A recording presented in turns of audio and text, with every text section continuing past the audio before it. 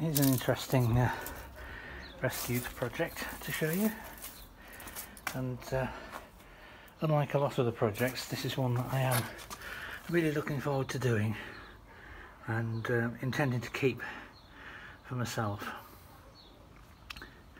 This is, as you can see, a Cresswell. What's a Cresswell you say? Okay. In the late 90s, mid to late 90s, uh, Richard Cresswell, who was an engineer, cycle engineer, um, set up to manufacture a folding commuter. And um, sorry, I've just I'm a bit out of breath. I've just been pulling things out of the lockup.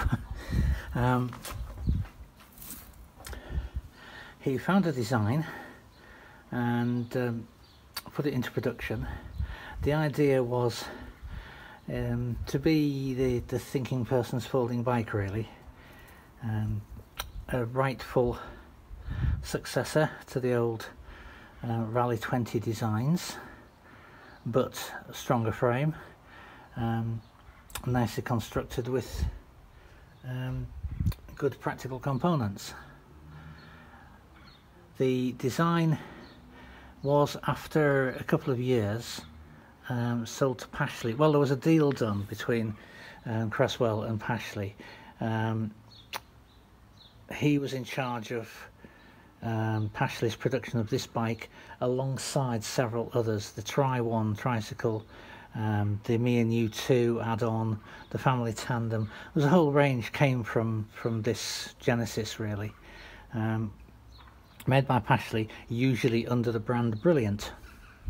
So this is really the, the, the forerunner, the prototype of the Brilliance.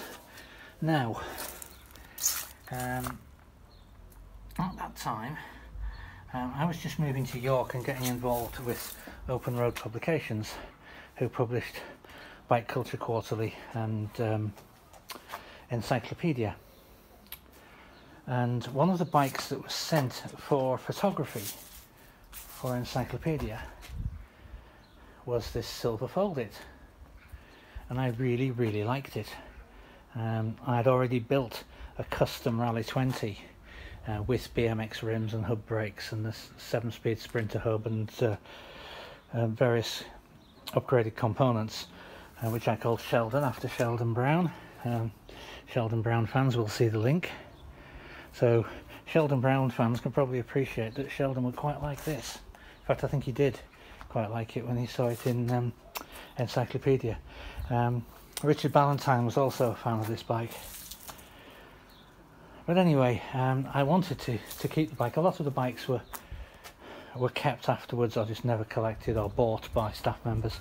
This one was bought uh, by a staff member and I never got to keep it, otherwise I would have had it for myself. Um, fast forward 20 years and um,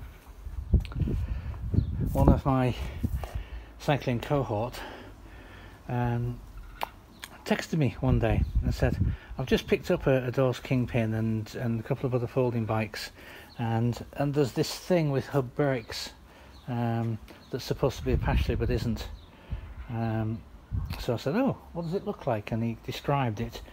Um, and as soon as he said fold it, I said, I'll have it. I don't care what the condition is, I'll have it. So uh, it came to me. Turns out it's only the same one not that much of a surprise, there weren't many made in this early configuration, but yeah, this is the this is the same one. So, to the bike itself, what do we have? I'm going to spin it round. As you can see, everything steel is rusty. Um, that's fine because I'll um, I'll chuck the handlebars, I'll chuck that stem. I will use a nice high-rise stem, um, a nice alloy one, and I will use some slightly rising handlebars probably as well. Um, seat pin again, no problem. I've got seat pins. It's not stuck. I've checked, and uh, oh, everything else. And once we cut the chain off, should be savable. The wheels are straight, but of course they're straight. They were hand built in the first place, and they're only 20 inch. Um, the transmission is the interesting thing. The rear hub is the infamous Sturmey Archer Sprinter 7. An absolutely awful, awful hub. Um, even worse than the 5-speed and caused more than anything by the shifter like the 5-speed. So this has got, that looks like a SRAM shifter on there. Um, does not look like something I've seen for a Sprinter before, so I shall investigate that. Um, I'll get it to work. Certainly I'll take the innards out and give it an overhaul. Uh, maybe I'll show you that.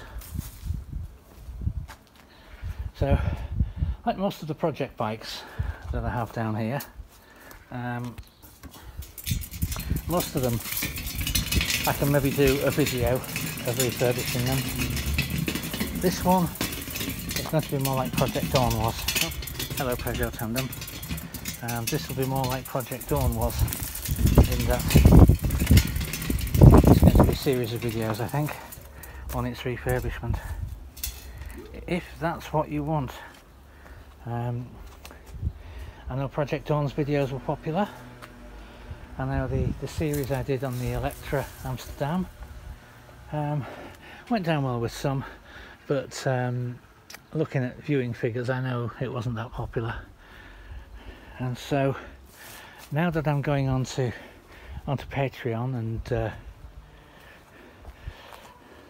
begging for support for the channel, um, I've got to think about what you'd like to see as well.